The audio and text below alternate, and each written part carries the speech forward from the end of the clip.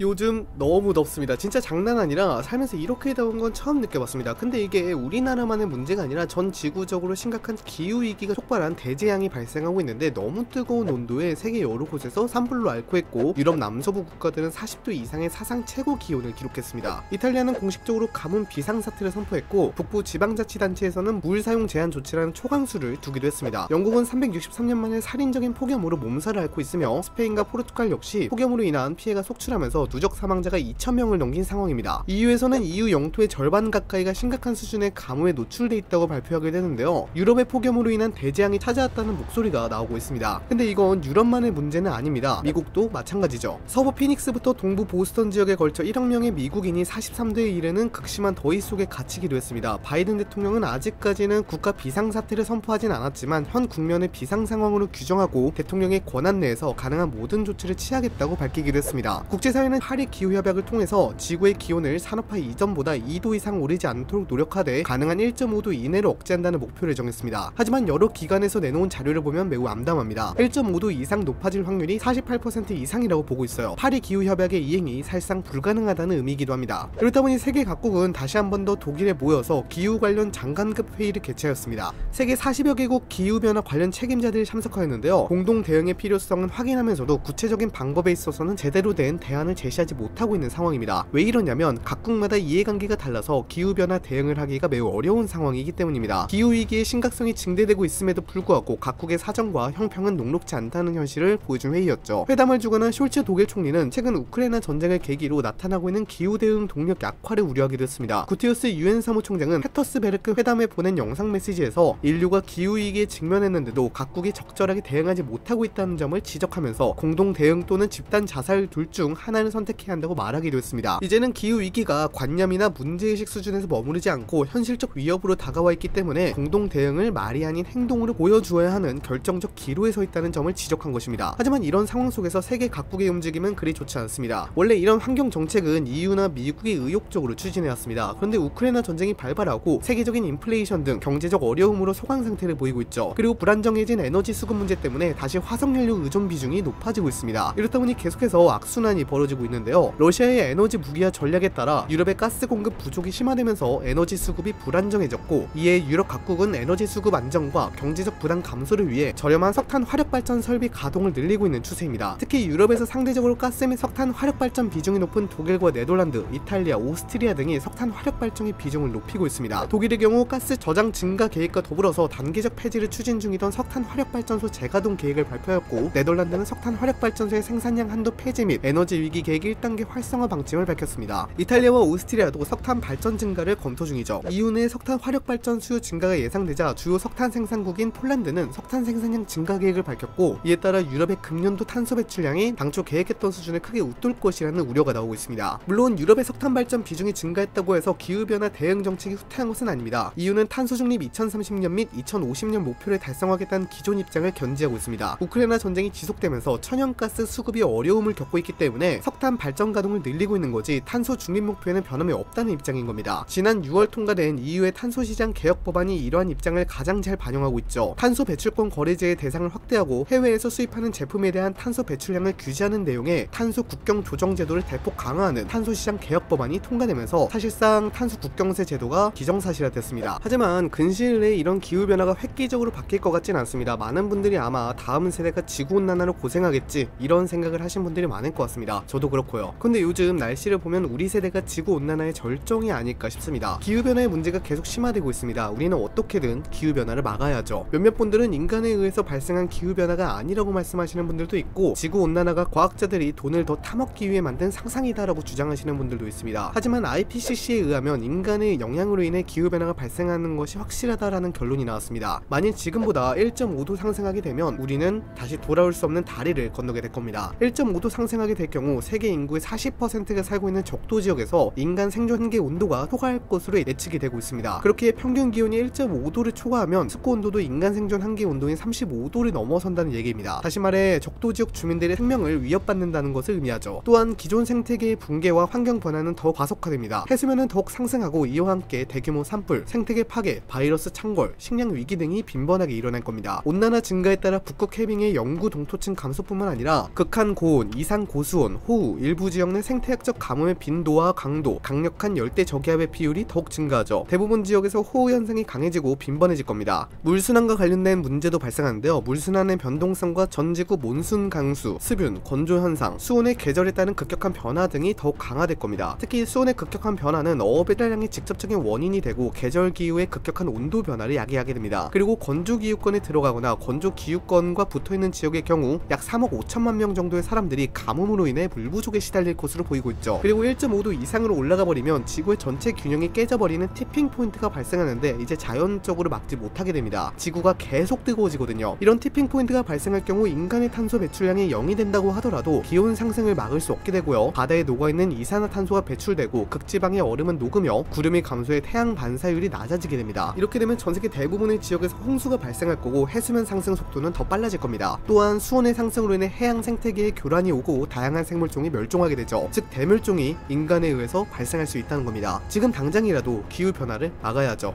말이 아닌 행동으로요.